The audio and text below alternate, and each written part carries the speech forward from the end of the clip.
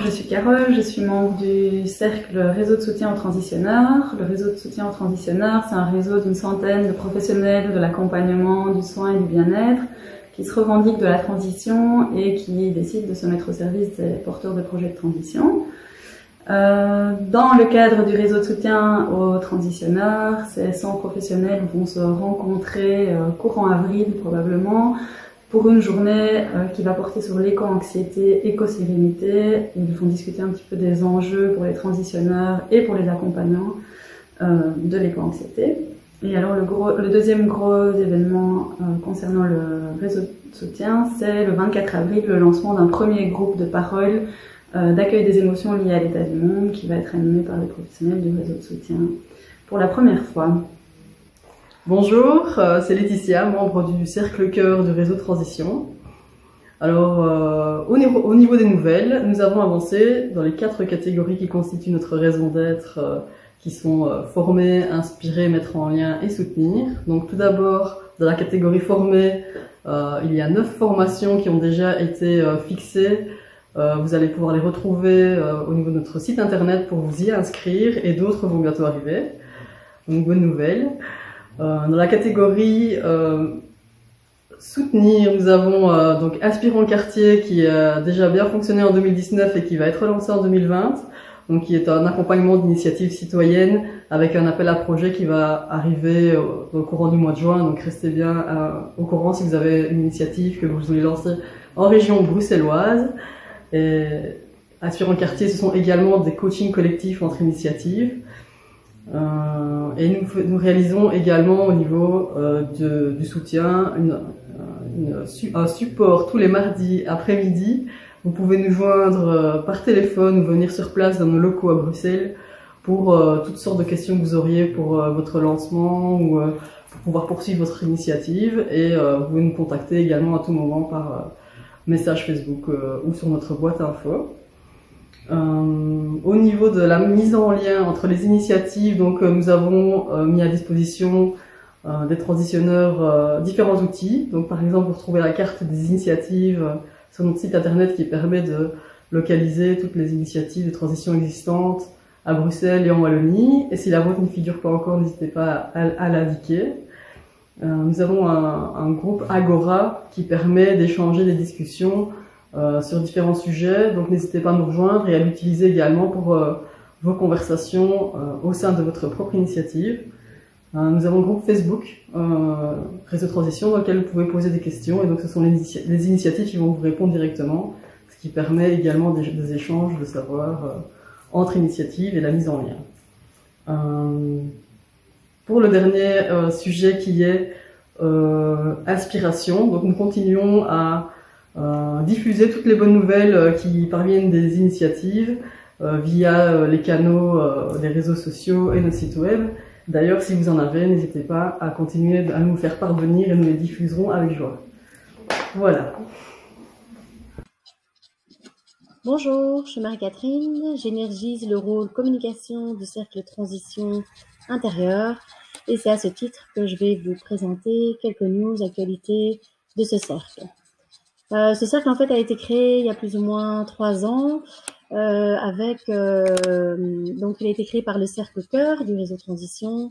Et l'objectif, c'était vraiment d'intégrer l'axe de transition intérieure au sein du réseau et au sein des initiatives de transition. Euh, donc, on a plusieurs axes de, de travail, plusieurs projets. Euh, un des projets, c'est un projet euh, ressources. Euh, nous avons mis en ligne en fait un site internet qui compile, qui reprend toute une liste de, de, fiches de transition intérieure. Donc l'objectif c'est de, de, proposer des, des, animations de transition intérieure, des conseils, des astuces pour pouvoir animer soi-même des, des, pratiques de transition intérieure. Donc ce site se veut euh, collaboratif euh, dans le sens où euh, chacun est invité ou en tout cas est, oui, est invité à venir mettre en ligne et partager ses propres pratiques de, de transition intérieure. Nous avons également un projet groupe locaux. Donc là, l'objectif, c'est de soutenir le développement de groupes locaux de transition intérieure. Nous avons également un projet de formation. Donc, nous programmons et nous proposons donc des, des, formations spécifiques à la transition intérieure, des formations sur qu'est-ce que la transition intérieure et comment l'animer.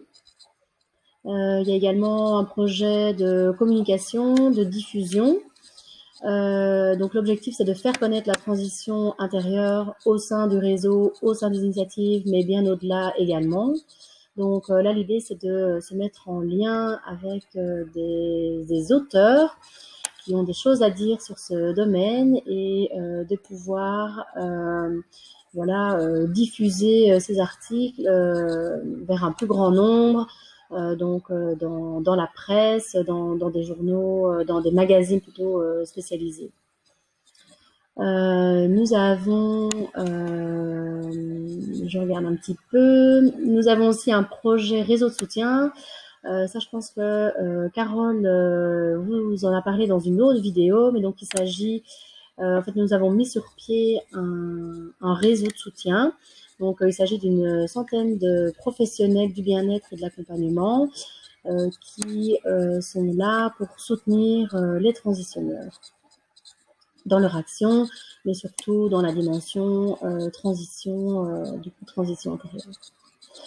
Voilà, ben, je pense avoir fait le tour des différents projets. J'espère ne pas, en avoir oublié. Euh, si vous êtes intéressé, si vous voulez en savoir plus, euh, vous pouvez aller consulter donc euh, le site euh, des fiches donc des pratiques de transition intérieure. Donc le site c'est